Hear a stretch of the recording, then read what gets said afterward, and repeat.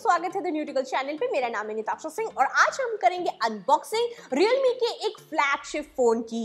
जी हाँ हमारा Realme GT2 Pro ये जो हमारा डिवाइस है ये पचास हज़ार रुपए का डिवाइस है तो फटाफट से खोलते हैं इसको और मैं आपको बताती हूँ कि फ़ोन के अंदर हमें क्या क्या मिलता है। सो so, बड़ा सा बॉक्स है हमारा और और देखते हैं सबसे पहले कि डिवाइस कैसा है। सो so, ये रहा हमारा Realme GT2 Pro जो कि, आप यहाँ पे देख सकते हैं। ग्रीन कलर में है मेरे पास डिवाइस और देखने में ये फ़ोन हमारा बहुत ही डिफरेंट सा लग रहा है बहुत ही प्यारा लग रहा है। जल्दी से मैं इसको सेटअप करती हूँ आपको बताती हूँ कि फ़ोन के अंदर क्या क्या मिलता है।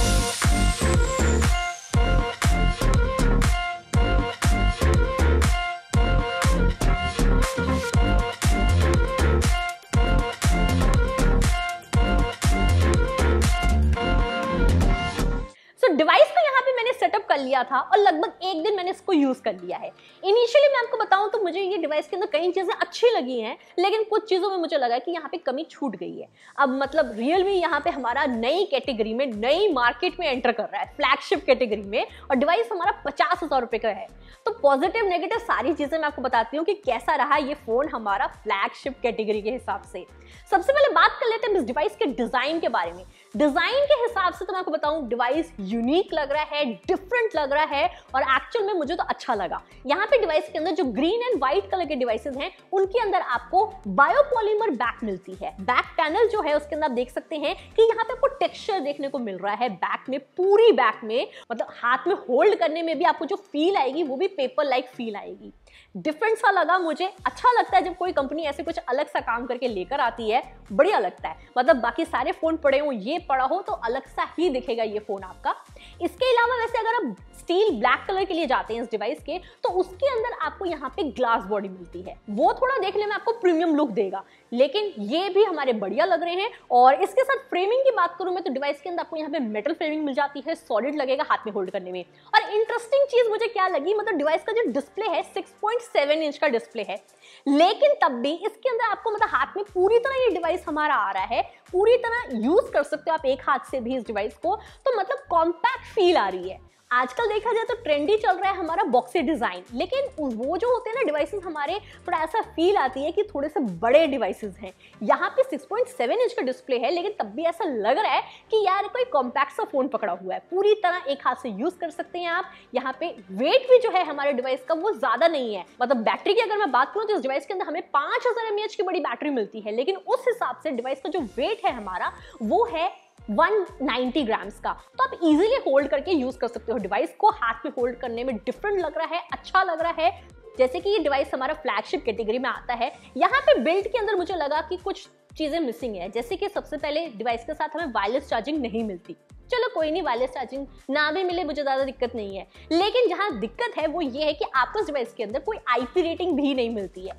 वो तो यार मिलनी चाहिए थी। मतलब एक किस्म से ना फ्लैगशिप कैटेगरी में अगर आप कोई फ़ोन लेकर आ रहे हो तो आपको कोई क्रेज वाली चीज़ देनी चाहिए, जिससे लोगों को क्रेज आए कि हाँ यार, ये फ़ोन लेना है। तो उस हिसाब से आईपी रेटिंग इस डिवाइस में मिलनी चाहिए थी। पचास हज़ार रुपये फ़ोन अगर खराब हो जाए ना, पानी में बड़ा दुख होता है। अब इसके साथ ही आगे अगर मैं बात करूँ डिवाइस की परफॉर्मेंस के बारे में तो यहाँ पे आपको काफ़ी बढ़िया परफॉर्मेंस मिलती है। टॉप नॉच प्रोसेसर मिल जाता है हमारा Qualcomm Snapdragon eight gen one उसके साथ रियलमी यू है हमारी, जो कि बेस्ड है एंड्रॉइड ट्वेल्व पे। यूएफएस थ्री पॉइंट वन की स्टोरेज है एलपीडीआर फाइव की रैम मिल जाती है आपको। यहाँ पे आपको डिवाइस के अंदर परफॉर्मेंस अच्छी मिल जाती है। मतलब एन टू स्कोर की मैं बात करूँ तो एक मिलियन तक का स्कोर आना चाहिए, ये जो एट जेन वन है हमारा। और यहाँ पे हमारा स्कोर अच्छा आया है। मतलब nine lakh eighty seven thousand आया है। और उसके साथ डिवाइस का जो सीपीयू थ्रॉटिंग टेस्ट भी मैंने रन किया, वहाँ पे भी 90 परसेंट डिवाइस ने यहाँ पे हमारा स्कोर अचीव किया था। मतलब आपको डिवाइस के अंदर यहाँ पे कोई थ्रॉटलिंग देखने को नहीं मिल रही है और हीटिंग भी देखने को नहीं मिलती। हमें यहाँ पे वेपो कूलिंग सिस्टम मिल जाता है, जिसके अंदर मतलब मैंने मतलब जैसे टेस्टिंग ये वाली जो करी है अभी एन भी रन किया सीपीयू थ्रॉटिंग भी रन किया तो 41 43 डिग्रीज तक टेम्परेचर हमारा हाइस गया। और डिवाइस को हाथ में होल्ड करने में ऐसा कोई हीटअप जैसी फीलिंग नहीं आ रही थी। तो यहाँ पे आपको हीटिंग कोई मेजर देखने को नहीं मिलती है। आगे रिव्यू में बताऊँगी डिटेल में अच्छे से टेस्ट करने के बाद। इसके साथ वैसे डिवाइस का यहाँ पे स्टोरेज टेस्ट जो मैंने रन किया, उसके भी रिज़ल्ट आप देख सकते हैं कि 1580 एमबीपीएस के आसपास हमारी रीड स्पीड आई है और 1100 एमबीपीएस के आसपास हमारी राइट स्पीड आई है। तो डिवाइस आपको काफ़ी स्मूथ लगेगा, बढ़िया लगेगा मल्टीटास्किंग करें आप, कोई भी काम करें, अच्छे से आप डिवाइस को यूज़ कर पाएँगे। इसके साथ गेमिंग की अगर बात करूँ तो यहाँ पे बीजीएमआई को आप एचडीआर ग्राफिक्स के एक्सट्रीम फ्रेम रेट तक भी गेम को ले जा सकते हैं, जिसमें अभी इनिशियली मुझे गेमिंग में कोई भी लैगिंग या जिटरिंग देखने को नहीं मिली परफॉर्मेंस अच्छी मिली हीटिंग भी नहीं देखने को मिल रही डिवाइस के अंदर।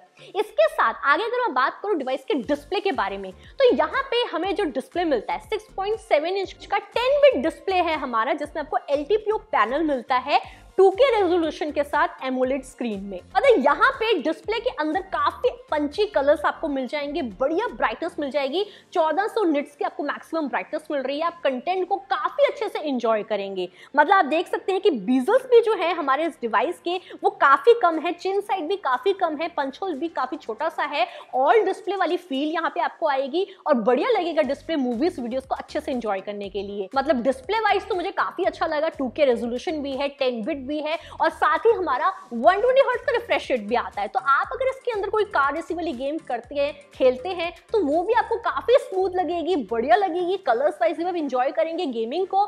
तो ओवरऑल डिस्प्ले वाइज भी अच्छा लगा मुझे डिवाइस अब अगर मैं बात करूँ ऑडियो के बारे में तो यहाँ पे डिवाइस के अंदर हमारे पास डुअल स्टीरियो स्पीकर्स आते हैं जिसपे आपको डॉल्बेट वॉस साउंड मिल जाती है। यहाँ पे आप सुन सकते हैं डिवाइस का हमारा ऑडियो आउटपुट आपको काफ़ी लाउड और क्लियर साउंड मिल रही है और इवन जो इसका डिस्ट्रीब्यूशन है साउंड का, वो भी काफ़ी मुझे अप्रोप्रिएट लगा। तो मतलब साउंड एक्सपीरियंस आपको बढ़िया वाला मिल जाता है। मतलब एंटरटेनमेंट के लिए देखा जाए ना तो डिस्प्ले अच्छा हो ऑडियो भी ज़रूरी है और बैटरी भी ज़रूरी है। बैटरी मैंने आपको बताया, पाँच हज़ार की आपको यहाँ मिल जाती है तो एंटरटेनमेंट आपका यहाँ पे चलता रहेगा। और उसके साथ चार्जिंग की बात कर लेते हैं बॉक्स के अंदर यहाँ पे हमें मिल जाती है 65 वॉट का फास्ट चार्जर तो फटाफट से चार्ज कर ही देगा डिवाइस को हमारे। रिव्यू में बताऊँगी कि कितना एग्जैक्टली टाइम लगता है इसको चार्ज करने में। इसके अलावा हमारे पास टाइप ए टू सी की केबल है, उसके साथ इजेक्शन पिन है, कुछ डॉक्यूमेंट्स हैं, और साथ ही आता है हमारा बैक केस बैक केस में देखा जाए तो काफ़ी अच्छी क्वालिटी का आपको यहाँ पे मिल जाता है। हालाँकि यहाँ पे मुझे थोड़ा सा लगा, जैसे कि डिवाइस ये हमारा फ्लैगशिप कैटेगरी का आपको यहाँ पे 3.5 पॉइंट हेडफोन जैक नहीं मिलता तो मुझे लगता है कि बॉक्स के अंदर हमें ईयरफोन्स या फिर कनेक्टर तो मिल ही सकता था ना। मतलब मेरे हिसाब से रियलमी को डाल देना चाहिए था। अब बंदा अलग से जाके कनेक्टर ढूंढे कंपैटिबल कनेक्टर मिले, ना मिले, उसकी बड़ी दिक्कत होती है। तो यहाँ पे कनेक्टर हमें मिलना चाहिए था बॉक्स के अंदर। अब आगे अगर हम बात करें डिवाइस के कैमरास के बारे में तो यहाँ पे कैमरा के सेटअप में मुझे टेलीफोटो कैमरा जो है वो मिसिंग लगा। मतलब मेरे हिसाब से वो अगर होता तो उसमें आप काफ़ी बढ़िया पोर्ट्रेट इफ़ेक्ट में पिक्स क्लिक कर पाते। यहाँ पे वो चीज़ मुझे लगा कि डाल देते तो बढ़िया रहता बट नहीं है। हालाँकि जो हमारा सेटअप है, वो भी काफ़ी इंटरेस्टिंग है। यहाँ पे आपको 50 मेगापिक्सल का मेन कैमरा मिलता है, जिसके अंदर आपको IMX 766 का सेंसर मिल जाता है। उसके साथ है हमारा 50 मेगापिक्सल का ultra wide J N one sensor के साथ और दो मेगापिक्सल का है हमारा माइक्रोस्कोप कैमरा सबसे पहले तो माइक्रोस्कोप कैमरा जो है हमारा ये बहुत ही इंटरेस्टिंग चीज़ है। मतलब अच्छी चीज़ें यहाँ पे डाल दी गई है जिन लोगों को थोड़े एक्सपेरिमेंट करने अच्छे लगते हैं। माइक्रोस्कोप लेवल पे पिक क्लिक करना अच्छा लगता है, वो तो इंजॉय करेंगे। वैसे मतलब मेरे को लगता है कुछ ही लोगों को ये चीज़ यूजफुल लगेगी बट अच्छी चीज़ है यहाँ पे रियलमी ने आपको यहाँ पे दिया है। इसके अलावा जो हमारा दूसरा कैमरा है 50 मेगापिक्सल का अल्ट्रा वाइड वो मुझे काफ़ी अच्छा लगा, काफ़ी तगड़ा लगा। मतलब उसके अंदर आप देख सकते हैं डिटेलिंग आपको अच्छी मिल जाती है, आपको कलर्स काफ़ी पंची मिल रहे हैं। मतलब यहाँ पे ओपो इफ़ेक्ट देखने को मिल रहा है पंची कलर्स मिल रही है अपीलिंग पिक्स मिल रही है डायनेमिक रेंज अच्छी आ रही है निकल के। और 150 एंगल का भी आपको सुपर वाइड लेने की भी ऑप्शन मिल जाती है। उसके अंदर मतलब आप काफ़ी क्रिएटिव पिक्स अपनी क्लिक कर सकते हैं। साथ ही आपको फ़िश आई वाला लेंस भी मिलता है, उसके अंदर भी आप अपनी पिक क्लिक कर सकते हैं। मतलब काफ़ी क्रिएटिव क्रिएटिव पिक्स लेने की आपको ऑप्शन मिल रही है। लेकिन जो मेन कैमरा है, हमारा 50 मेगापिक्सल का I M X seven six six यहाँ मुझे लगा कि यार इंप्रूवमेंट करनी चाहिए थी, क्योंकि ये जो कैमरा है, ये मैंने एक्चुअल में टेस्ट कर लिया है काफ़ी ज़्यादा, जो हमारे नॉड में अभी आता है ये, और रियलमी के भी कुछ डिवाइसेस में आता है पच्चीस हज़ार रुपए के बजट में जो आपको मिल जाते हैं। अब यहाँ पे रियलमी फ्लैगशिप फ़ोन लेकर आ रहा है मतलब पचास हज़ार रुपए के प्राइस में फ़ोन लेकर आ रहा है। उस हिसाब से इसके अंदर हमें फ्लैगशिप सेंसर मिलना चाहिए था। जो आप पच्चीस हज़ार के बजट में दे रहे हो, वही आप उठा के फ्लैगशिप में दे रहे हो। तो यार क्रेज कहाँ बना? यहाँ पे कोई अच्छा सेंसर हमें देते तो ज़्यादा बेटर हो जाता। अभी आप यहाँ पे देख सकते हो कि आपको यहाँ पे पिक्स की क्वालिटी जो है, वो उतनी तगड़ी नहीं मिल रही। उतना तगड़ा नहीं लग रहा, उतना अप टू दी मार्क नहीं लगेगा। वैसे यहाँ पे डिफरेंट डिफरेंट सैंपल्स जो मैंने लिए, वो देख सकते हैं कि डिटेलिंग अच्छी मिल रही है। जो लेंस है, ये हमारा अच्छा है, लेकिन फ्लैगशिप कैटेगरी का नहीं है ना? फ्लैगशिप कैटेगरी का होना चाहिए था।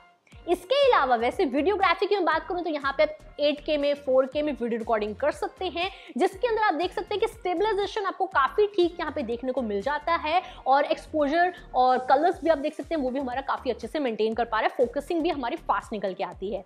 इसके अलावा अब सेल्फी कैमरा की मैं बात करूँ तो सेल्फी कैमरा के अंदर भी मेरे हिसाब से थोड़ी इंप्रूवमेंट करनी चाहिए थी। हमें यहाँ पे 32 मेगापिक्सल का सेल्फी कैमरा मिलता है, जिसके अंदर आपको मिल जाता है आई एम एक्स का सेंसर अब क्या है कि अगर मैं ओप्पो की ही बात करूँ रियलमी ओप्पो ऑलमोस्ट एक ही ब्रांड्स हैं सब ब्रांड है रियलमी ओप्पो का तो वहाँ पे ओप्पो हमें बीस हज़ार रुपए के बजट में जो 709 वाला सेंसर दे रहा है, यार वो काफ़ी अच्छा है। मेरे हिसाब से फ्लैगशिप फ़ोन आप लेकर आ रहे हो, आपको वही सेंसर देना चाहिए था। यहाँ पे क्या है, अगर आप ये वीडियो में देखोगे ना, ये मैंने सेल्फी कैमरा से जो वीडियो लिया है, उसके अंदर आप देख सकते हो कि एक्सपोजर को मेंटेन इतने अच्छे से नहीं कर पा रहा है। थोड़ा सा वॉश आउट की तरफ़ जा रहा है, अगर पीछे आपके तेज सनलाइट हो। तो ये कुछ चीज़ें फ्लैगशिप में आपको ध्यान देनी चाहिए मतलब फ्लैगशिप मार्केट में आप एंटर कर रहे हो तो जो बेस्ट चीज़ है आपके पास, वही आपको देनी चाहिए। अब ओप्पो के पास है मतलब आपके पास भी पड़ा ही है वो सेंसर 709 वही मिलना चाहिए था ना यहाँ पे। ये वाला सेंसर क्यों मिला? अब पिक्स की मैं बात करूँ तो वो आपको ऑप्टिमाइज लगेंगी काफ़ी अच्छे से, आप देख सकते हैं। मैंने यहाँ पे डिफरेंट डिफरेंट मोड में पिक्स क्लिक करी थी, जिसके अंदर अगेंस्ट द सन हो या फिर सनलाइट बैकग्राउंड में हो तो उसके अंदर भी आपकी पिक्स जो हैं, वो हमारी काफ़ी अच्छी आ रही हैं। और आप देख सकते हैं कि आपको एज डिटेक्शन भी अच्छा मिल रहा है स्किन टोन को भी अच्छे से मेंटेन कर पा रहा है। बट वीडियोग्राफी के अंदर वहाँ पे एक्सपोजर मेंटेन करने में थोड़ा हमारा कैमरा यहाँ पे स्ट्रगल कर रहा था। तो ये हो गया हमारे डिवाइस का कैमरा अब अगर मैं बात करूँ इस डिवाइस के बाकी पोर्ट्स के बारे में तो यहाँ पे आपको नीचे के साइड स्पीकर ग्रिल मिलती है, उसके साथ टाइप सी पोर्ट है, साथ ही माइक है, साथ ही हमारी सिम ट्रे आती है। आपको यहाँ पे हाइब्रिड सिम स्लॉट मिलता है। सिम ट्रे के ऊपर आपको वाटर सीलिंग देखने को मिल जाती है। 5G सपोर्ट मिलता है, वो भी तेरह बैंड्स में। राइट साइड में हमारे पास पावर बटन है टॉप साइड में सेकेंडरी माइक है लेफ़्ट साइड में आते हैं हमारे वॉल्यूम रॉकर्स बैक साइड में आपको यहाँ पे कैमरा मॉड्यूल मिलता है ट्रिपल कैमरा सेटअप के साथ, जिसमें dual 50 megapixel matrix OIS camera लिखा हुआ है, साथ ही Realme की बैजिंग है और डिज़ाइनर के यहाँ पे साइन है हमारे। ये हमारे हो गया डिवाइस का डिज़ाइन एंड लुक सो मेरे हिसाब से यहाँ पे देखा जाए मतलब ओवरऑल जैसे अभी यूज़ कर लिया मैंने डिवाइस को, एक दिन ही किया है। रिव्यू में डिटेल में बताऊँगी क्या क्या कैसा कैसा रहा। लेकिन अभी इनिशियली मैं बताऊँ तो यहाँ पे डिवाइस के अंदर तीन कमियाँ मुझे देखने को मिली हैं। सबसे पहले जो मेन सेंसर है बैक कैमरा का, वो इम्प्रूव होना चाहिए था। वही पच्चीस हज़ार रुपये के बजट वाला नहीं यूज़ करना चाहिए था। सेकेंड सेल्फी कैमरा का सेंसर भी इम्प्रूव करना चाहिए था। थर्ड इसके अंदर हमें आईपी रेटिंग मिलनी चाहिए थी डिवाइस के अंदर फ्लैगशिप कैटेगरी में यार। मतलब जैसे कि रियलमी यहाँ पे फ्लैगशिप कैटेगरी में एंटर कर रहा है तो अपनी बेस्ट चीज़ें यहाँ पे डालनी चाहिए थी। ताकि ना मतलब लोग खुद एग्री करें कि हाँ पचास हज़ार रुपये वो खर्च करेंगे रियलमी के नाम पे। यहाँ पे मुझे लगा थोड़ी कमी है, इन पे भी काम किया जाता तो थोड़ा और बेटर हो जाता ये डिवाइस हमारा। बाकी एक्चुअल में कैसा निकलता है परफॉर्मेंस में वो आपको रिव्यू में पता चलेगा। सो आपका ओपिनियन क्या है इस फ़ोन के बारे में कमेंट ज़रूर करिएगा और ये कैसा लगा आपको वीडियो ये भी ज़रूर कमेंट करिएगा। अभी के लिए बाय बाय